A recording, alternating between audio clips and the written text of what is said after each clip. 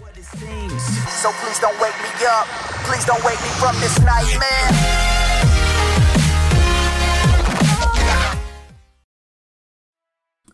What is up, gamers? It is Fear Legacy here, coming to you guys with a supply drop opening. I have purchased 2,400 COD points, and let's see what we can pull out of this.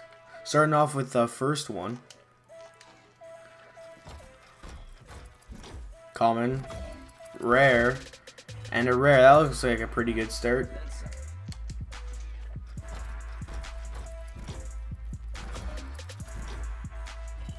Nothing I really care about. I'm just looking for gun variants right now, really.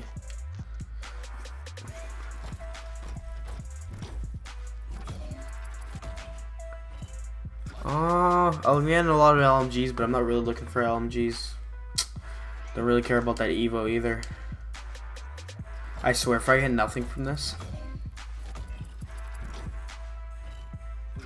it gets all like exciting. Like the last one's like, and then you just your common sniper rifle camouflage is ridiculous.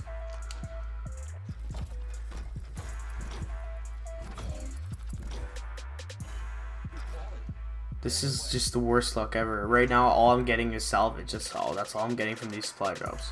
Be nice to get a weapon. Another LMG variant. Not really looking for that. Let's hope to get some better, maybe.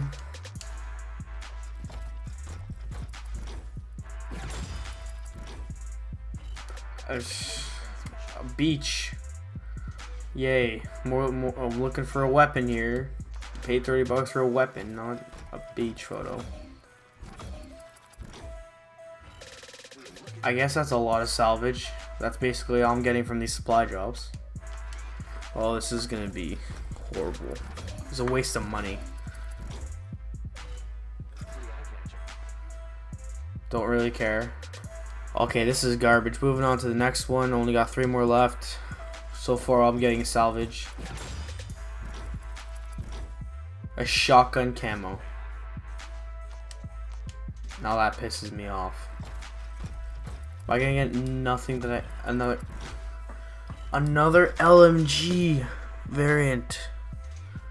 Not looking for that at all. going to go for the last one here.